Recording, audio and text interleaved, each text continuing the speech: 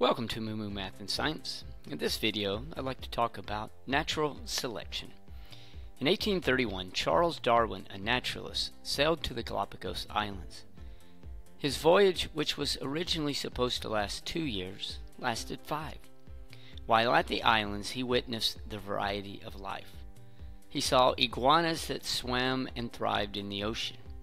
Each island had a slightly different looking iguana. As he traveled to the different islands, he saw finches with different looking beaks. This voyage inspired him to write a book titled The Origin of Species. In the book, he proposed his theory of evolution and attempted to explain the variety of life on Earth. One mechanism he proposed to support his theory that life descended from a common ancestor was natural selection. Natural selection has several components. First is overproduction.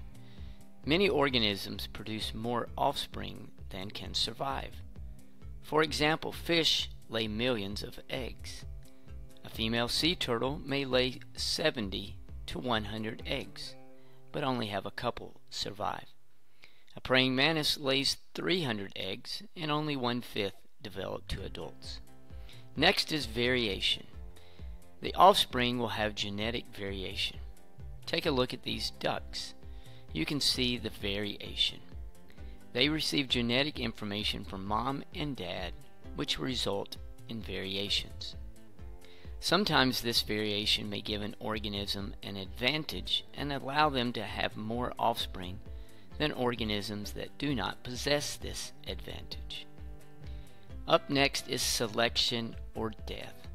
Some organisms, due to variation, will be more fit to survive and reproduce than their environment and are more likely to pass their traits to their next generation.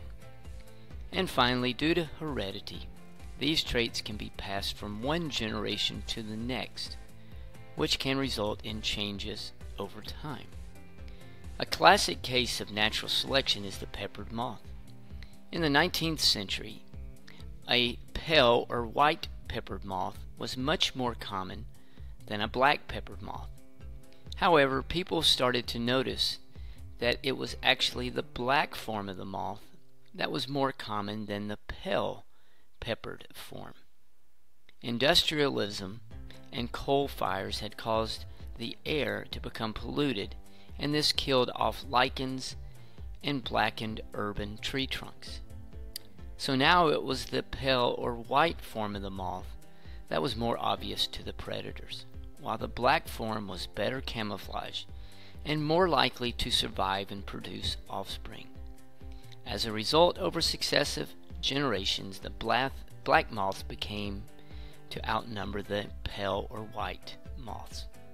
So there we go, natural selection, one way Darwin helped explain his theory of evolution.